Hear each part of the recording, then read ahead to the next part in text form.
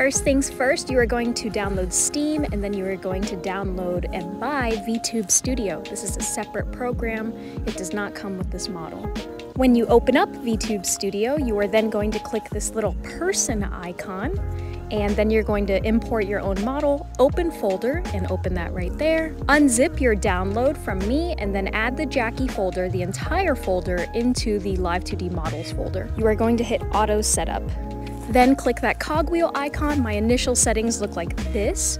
Then hit that person icon at the top. I turn off movement config, I up the dragging physics. While setting up your parameters, it's best if you can record if possible. So next to in in that parameter right there, that number that's constantly changing, that is basically representing you and what you're doing.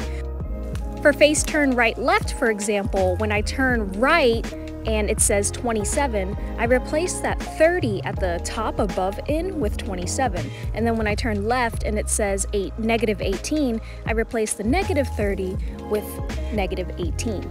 You are only editing the in, you do not need to edit the out. I know it's a little confusing, but I recommend playing with these numbers and parameters. You can also up the smoothing, and what that does is basically exactly what it sounds like. It essentially forces your model to not go back and forth too quickly or weirdly between different parameters.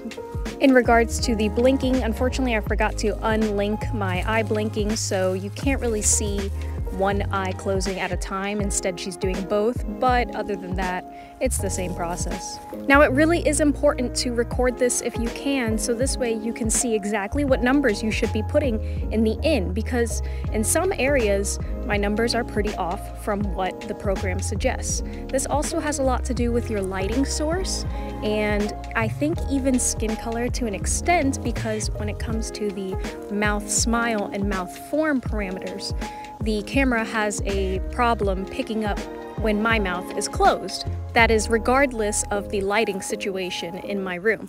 So I think the color of my lips is a little bit confusing for the tracking software. Thus, I recommend that you edit it to tailor your facial features. I had a client with heterochromia and one eye was constantly reading as closed. So in that case, you need to make sure that your eye parameters uh, eye open and eye closed for right and left are not exactly the same because they'll have different sensitivities for each eye since her eyes are different colors. Also, when you are adding in your parameters and changing the numbers, you need to basically keep in mind what you are reasonably going to do. So instead of turning all the way left that you possibly can, turn as left as you would normally during a stream looking at something to the left of your screen is actually going to be a pretty slight motion, so thus you would not have your number at negative 30, for instance, and it might even be like negative 8, because realistically you're not going to be making very big motions. And yet you want your model to have a lot of movement, and portray a lot of movement, even though you yourself aren't necessarily moving that much. I know this can be very confusing. I do recommend watching this part several times if you've never set up a model and paying a lot of attention to how I'm changing the numbers. You also do not have to get the full range of motion if you do not want to. For example, if you don't like the way she looks when she's looking all the way down in body Y, instead of making it negative 17, or even negative 30, you can make it negative 40, which means that it's kind of limiting her range and she won't go through the entire range of motion. For this section, she is now done setting up all her parameters, so we're going to add in the different hairstyles. I'm also demonstrating right now how to add an expression. If you want to maybe have her make a sad face or something like that, you can make one yourself by following these steps. As you can see, by manipulating those things, I was able to create a sad face. And then when you trigger it by pressing a button, she will make a face like that. It can be hard to have your model keep a consistent facial expression if you're trying to portray a specific emotion, so that's why you can do something like this. As of right now, she does not come with any stickers or expressions other than what you can make in here.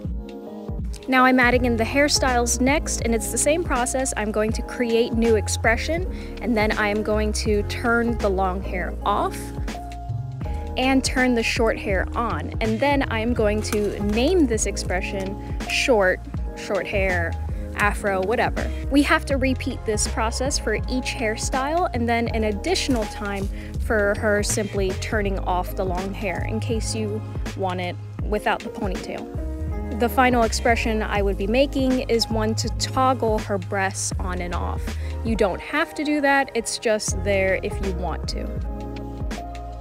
Anyway, here is me making those expressions.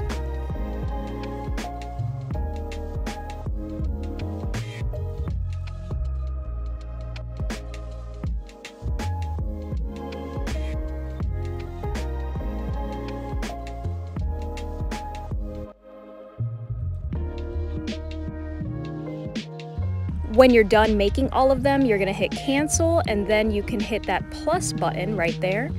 Then hotkey action, set unset expression, and then click the expression you wanna set, like long off, and then key combination, I record and press one, for example.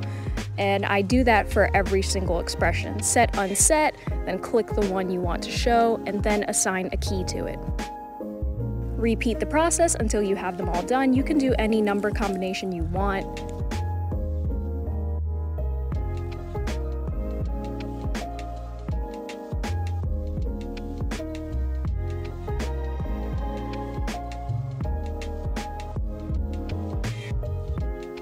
Once we set all the hotkeys, then I can press those buttons and she can toggle in between the different hairstyles and with her breasts on and off. So this is how you change her hair. You can do an entire stream with any hairstyle you want. There's no time limit on these expressions. They can last the entire stream, no problem. And this part is me actually doing the breast toggle. Now that is it for the voiceover for this video and she is all set up. The next one is going to be about how to customize her. As always, if you have questions, you can send me an email at sleepymia145 at gmail.com or a DM on Twitter at thesleepymia. Either is fine.